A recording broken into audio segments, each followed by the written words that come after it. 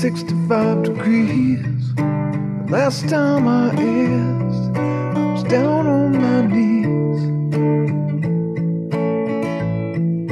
The last time I heard you speak, you shot ice into my veins. I almost wished there would rain.